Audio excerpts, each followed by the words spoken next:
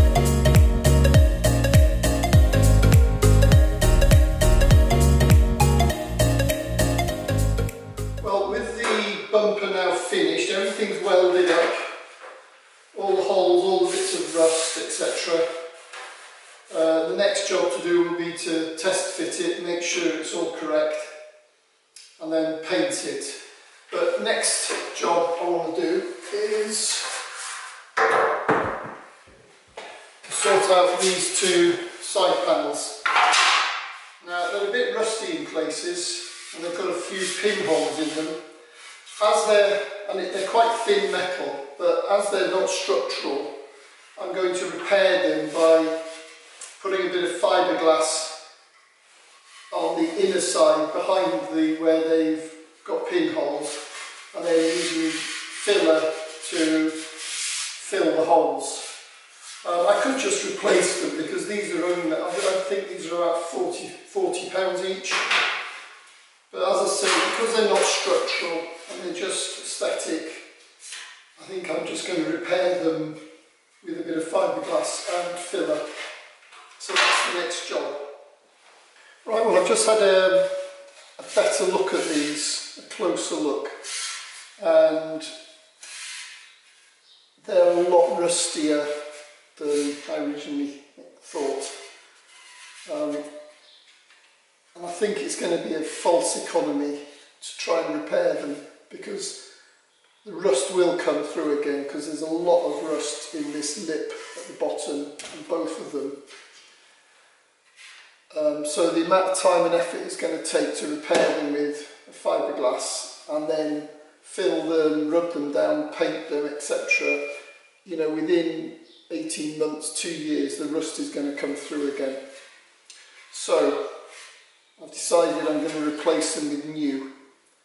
And I've been onto my usual supplier and I can get both of them with new seals and everything for delivered for I think it's 86 quid pounds British pounds um, so that's what I'm going to do. I'll keep these anyway just in case. I'll put them in storage. You never know when they'll come in handy but I'm going to use new ones for, uh, um, for, for this project. So the next thing I want to do now is I want to get the vehicle back in here um, and then start trial fitting the side door, rear hatch and the bumper to make sure that all, they're going to fit properly and all the gaps are nice, etc., before I start prepping them for paint.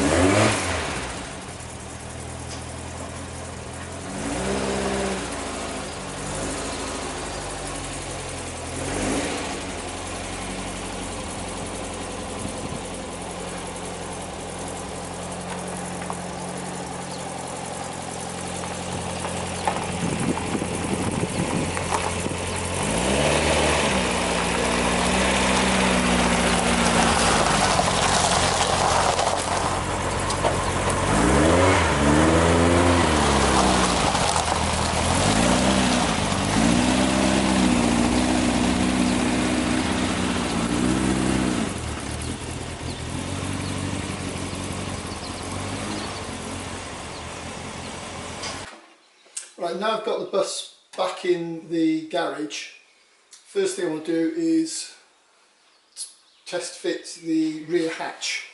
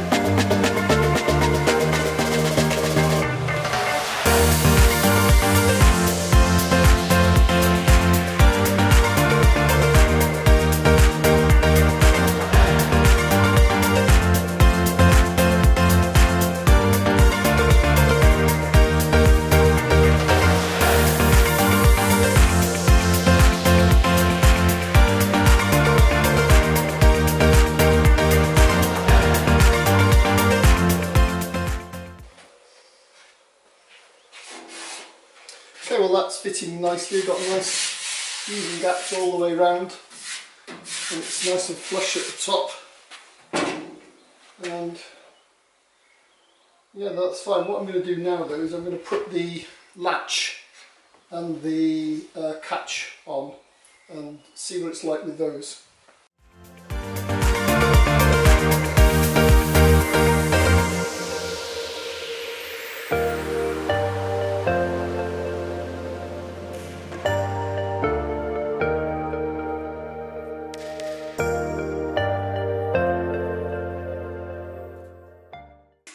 Fits nicely. The only issue I've got is that this corner there is knocked in a bit too far and that's, that's, that's down to when I was folding over the edge.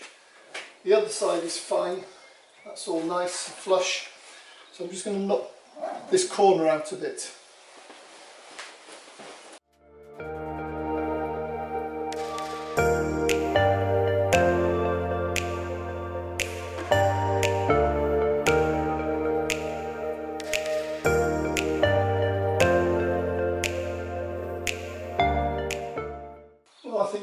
Will do. That's more than good enough. With the when the rubber seal is on, it'll keep it cushioned out a bit more. So all these lines match up nicely. So yeah, happy with that. Right, before I get started on the side door, I want to quickly test fit the front bumper, make sure it, I've got the holes in the right place.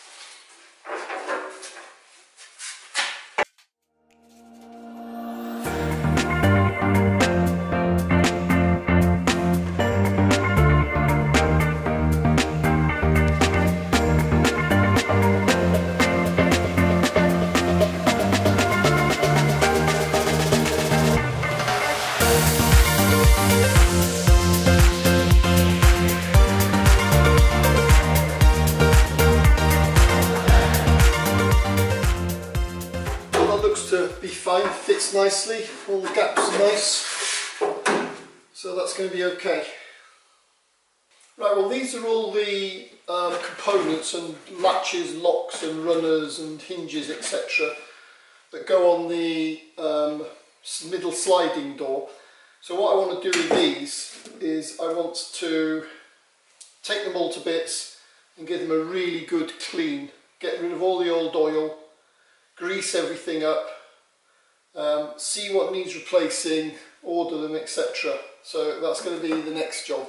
Right, I'm going to start by giving everything a really good clean in, in some paraffin. So I'm just going to soak everything for an hour or so.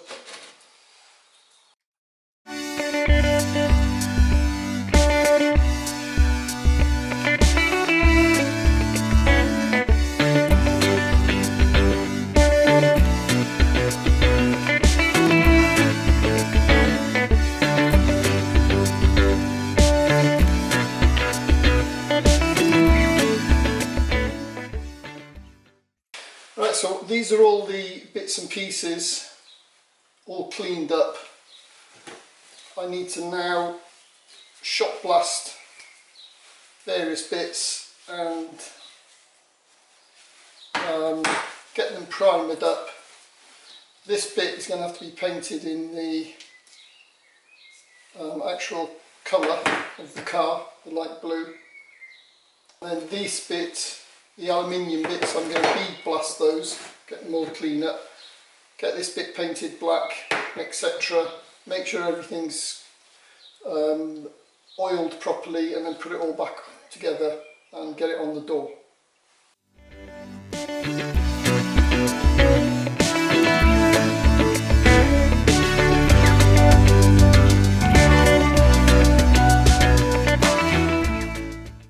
Right, with everything cleaned up, painted, etc. I need to put everything back together again now and get everything greased and then I can, and oiled, and then I can put it back on the door and get the door fitted.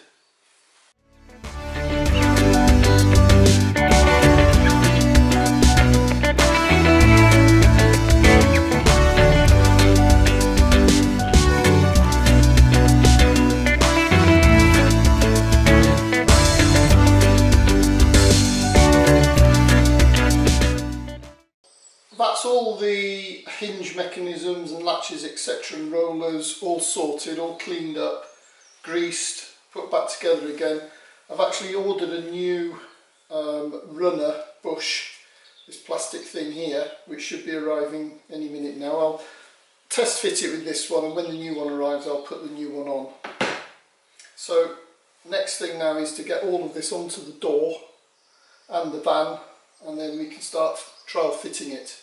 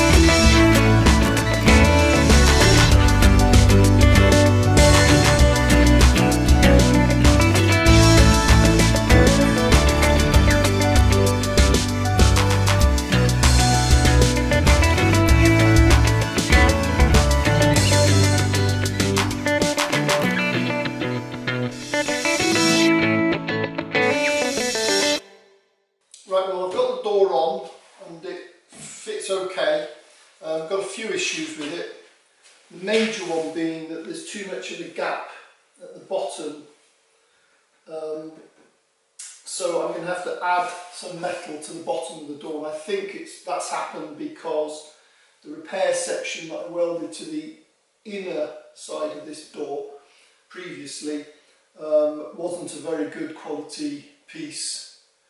Um, so when I put the door skin on, I probably put the door skin uh, too high. I should have lowered it down a bit, but, but anyway, you know, you live and learn. So I'll get that sorted. I need to do a bit of profiling to the edge as well. Um, and the gaps, they're okay, not too bad. There's a bit of an issue here, but I can sort that out when I uh, do the filler work on here before painting, so that's not a problem. So the next job is to take the door off and get that bottom edge sorted, but that's going to be in the next episode. So thanks for watching. Uh, please like, comment, subscribe and be safe and I'll see you next time.